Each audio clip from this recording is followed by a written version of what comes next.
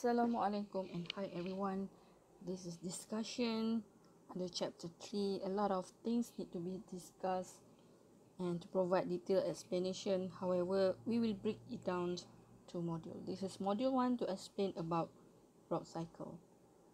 The first thing that you need to know about rock cycle is the three major rock groups. They are igneous rock, sedimentary rock and metamorphic rock.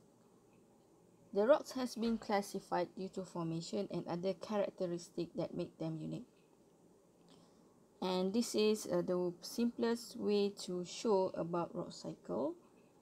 Uh, originally, uh, the first rock will be formed is igneous rock and from igneous rock it will transfer to sedimentary rock and from sedimentary rock form to metamorphic rock. So the formation is in terms of cycles, meaning that rock is formed every day.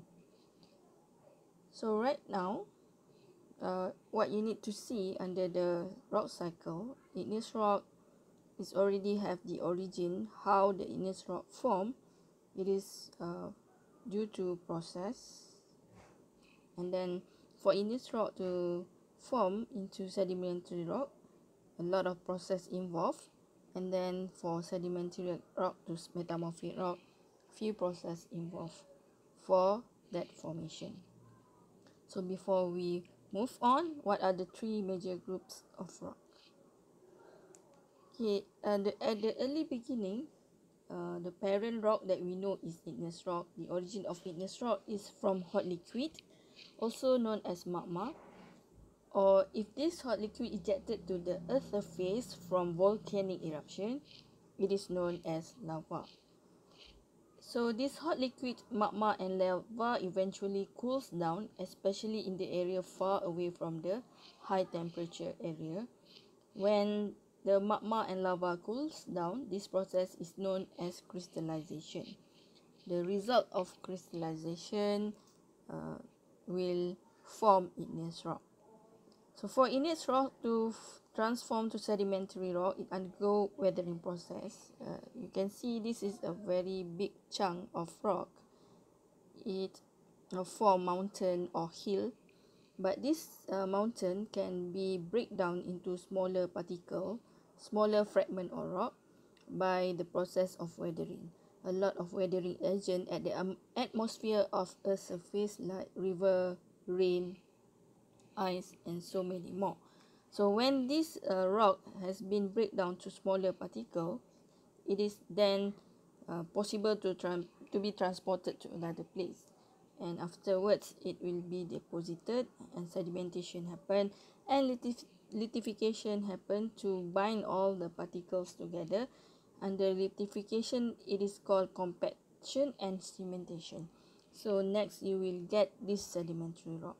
So this sedimentary rock, if you put this sedimentary rock under the condition of high pressure and high temperature that we call it as metamorphism, so this uh, will make sedimentary rock to turn into metamorphic rock. So for the formation, it is in terms of cycle. Uh, and from metamorphic rock, if it if the metamorphic rock very near to high temperature zone in the earth in the earth uh, beneath the earth layer it can melt down and then it will form igneous rock. So can you explain the process to form igneous rock? What are the processes involved to form igneous rock? And then explain process involved to form sedimentary rock can you explain process involved to form metamorphic rock? So we already know about the simplified version of rock cycle, but basically what happened in the environment is this one. This is the complete version of rock cycle. Okay, compare with the first discussion, igneous rock will transform to sedimentary rock. Igneous rock exposed to the environment, exposed to the atmosphere, uh, go through weathering process, have transportation happen, deposition uh, becoming sediment, and then lithification happen, and then becoming sedimentary rock. So the sedimentary rock turn to metamorphic rock.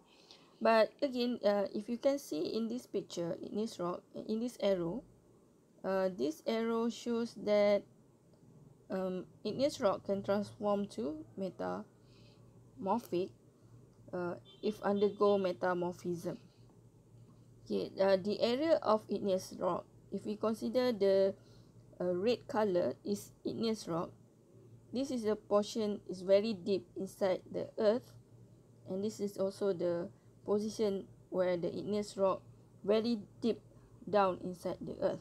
So this is the possible happen very high heat and have very high temperature so the igneous rock can turn into metamorphic rock. So next you look at this metamorphic. The arrow is uh, like here meaning that metamorphic rock can transform to sedimentary rocks especially metamorphic rock in this zone very near to the earth surface where this rock can up, can be uplift and exposed to the environment. So the sedimentary rocks process happen and then change the metamorphic rock to become sedimentary rock. And again this sedimentary rock can become sedimentary again when it exposed to the environment and then go through the uh, sedimentary or uh, sedimentary rock formation the process and then become sedimentary rock again. So the arrow missing in this picture is this one. You can add this one. Sedimentary rock can actually change to igneous rock uh, when this sedimentary rock near to the uh, melting zone or the very high temperature zone so this sedimentary rock can melt down and then becoming igneous rock so this is the complete explanation about rock cycle and before we end, can you draw rock cycle? Can you explain rock cycle? So I have done my part to jot down all the notes.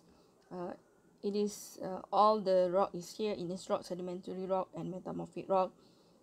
Um, for metamorphic rock to turn into igneous rock, this metamorphic rock must melt down. So this is melting rock. And then this melting rock crystallize and becoming igneous rock. So all the arrow is there to explain the rock cycle. So you can uh, use your own creativity to make your own notes. Uh, this is another example that can uh, very much uh, easy for us to understand and it is um, it is uh, easier for you to remember in terms of the graphic is very fun to look at. For example, this one, if uh, rock at the earth surface, how this rock to become uh, sedimentation uh, sedimentary rock so it's undergo weathering process and then uh, erosion or transport to another place and then de- deposited towards the end everything is come together under the action of compaction and cementation. So this uh, basically can uh, create sedimentary rock. So use your own creativity yeah guys and then uh, make your own um, make your own rock. So we will meet again inshallah in the next module. Thank you